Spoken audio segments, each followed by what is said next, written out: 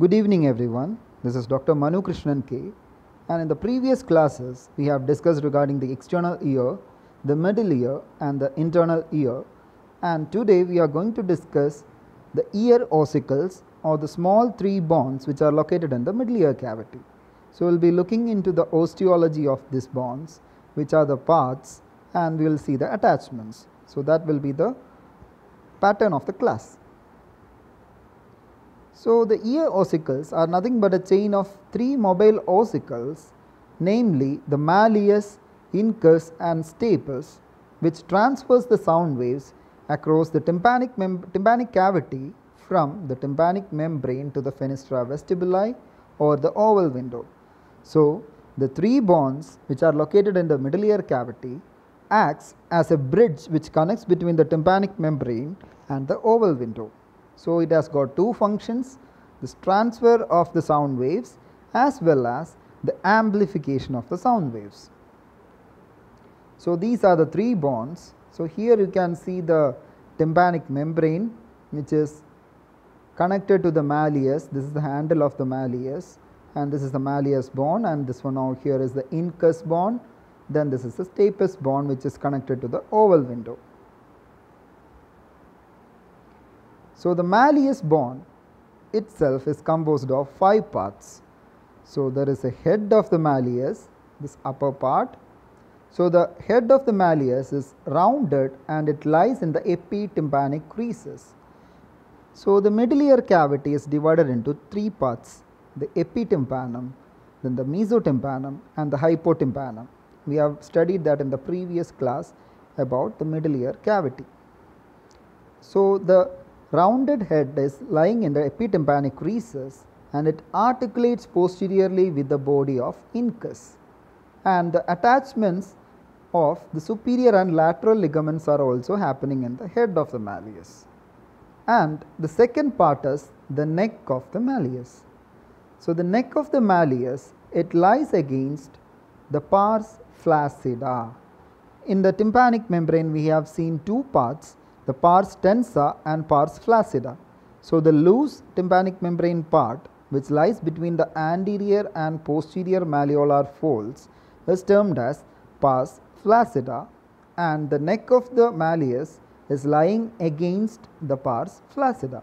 It's very simple to remember and it lies medially to the chorda tympani. Now, the anterior process of the malleus, it is connected to the petrotympanic fissure by anterior ligament. So, here you can see the anterior process, it is a pointed process arising behind the neck region. Then comes the lateral process which projects from the upper end of the handle. So, here this is the handle or manubrium of the malleus and the upper end of the malleus of the handle of malleus is having a small projection that is the lateral process. It provides attachment to the malleolar folds. So, the lateral process is giving attachment for malleolar folds. There are two malleolar folds in the tympanic membrane, the anterior and posterior malleolar folds.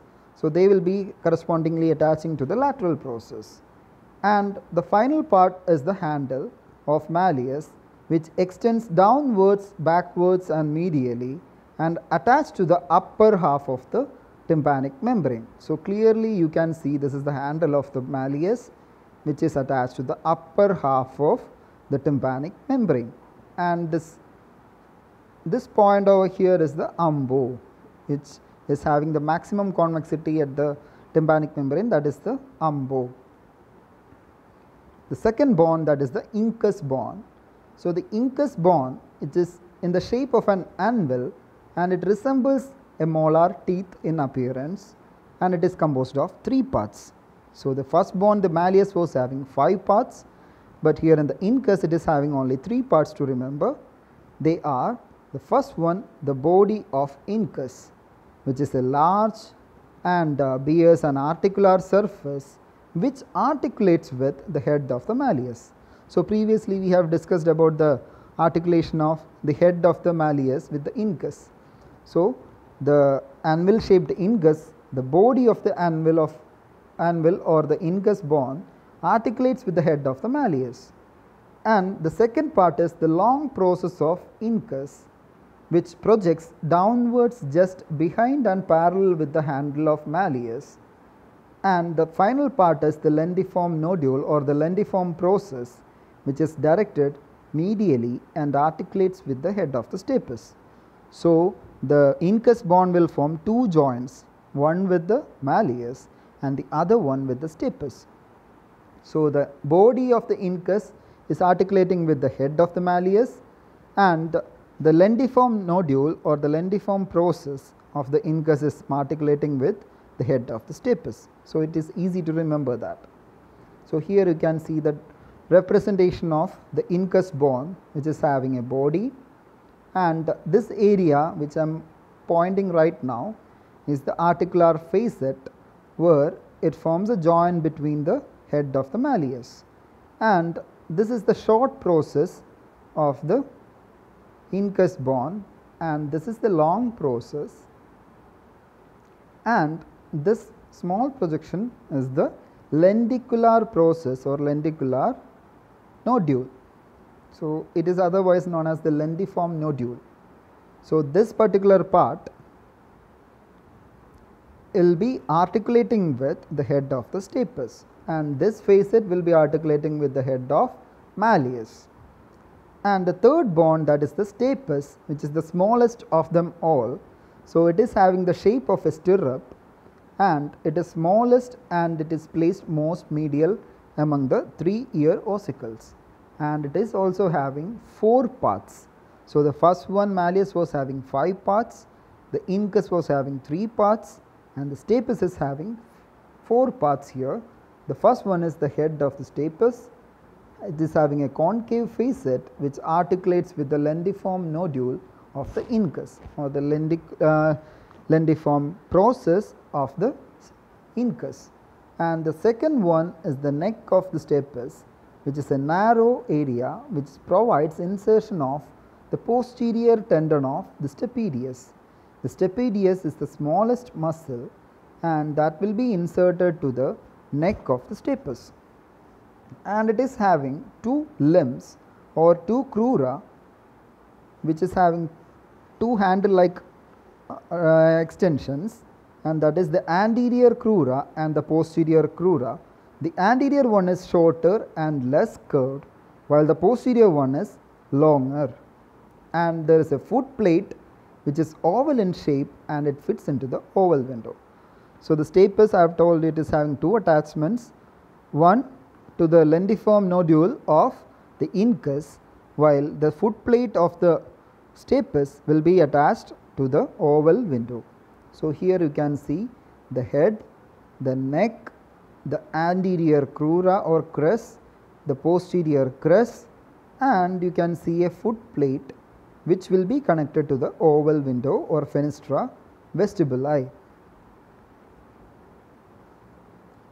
So, let us have a look into the joints of ear ossicles. So, previously I have told the first one the malleus is attached to the tympanic membrane and to the head of the incus and to the head of the incus. So, the first one is the incudo-malleolar joint which is a saddle joint formed between the malleus and the incus.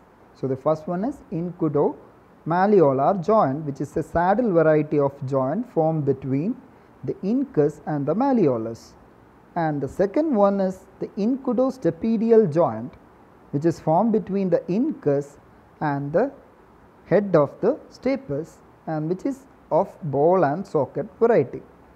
So, incudo-malleolar joint between incus and malleus which is saddle type of joint and incudostapedial joint uh, that is a ball and socket variety joint present between the incus and stapedius in incus and the stapes bone and it is surrounded by the capsular ligaments while the accessory ligaments are 3 for the malleus, 1 each for the incus and stapes which stabilizes the ossicles. So, the ossicles are held together by the capsular ligaments and the accessory ligaments which can be further classified into 3 for the malleus and 1 each for the incus and stapes. And these ligaments have a peculiarity that they are very extremely elastic. So, this elastic property is for the purpose of the amplification of the sound waves. So, they can vibrate more easily and it can amplify the sound to certain degree and the muscles of the middle ear. So, we have discussed about the bones of the middle ear cavity, we have discussed about some attachments and we have discussed about the joints formed by it and finally we will come to the muscles of the middle ear. There are two muscles in the middle ear cavity. The first one is the tensor tympani which is originating from the walls of cartilaginous part of the eustachian tube. So, I have told you from the anterior wall of the middle ear cavity there arises a small tube which connects to the nasopharynx and that tube is called as the eustachian tube. So, from the cartilaginous part of the eustachian tube some muscle fibers of the tensor tympani muscle arises and also there are some fibers arising from the adjoining region of the greater wing of the sphenoid bone. So, these are the two points from where the fibers of tensor tympani arises. And what was the function of tensor tympani? As the name suggests, it tenses up the tympanic membrane. That is very easy to remember. It tenses up the tympanic membrane. And the insertion is so clear for about the tensor tympani that is the handle of the malleus near the neck and it is supplied by the mandibular nerve which creates a pulley action by tensing up the tympanic membrane. And the second muscle is the stapedius which is originating from the inferior part of the pyramidal eminence. We have discussed about the pyramidal eminence while we explain the middle ear cavity.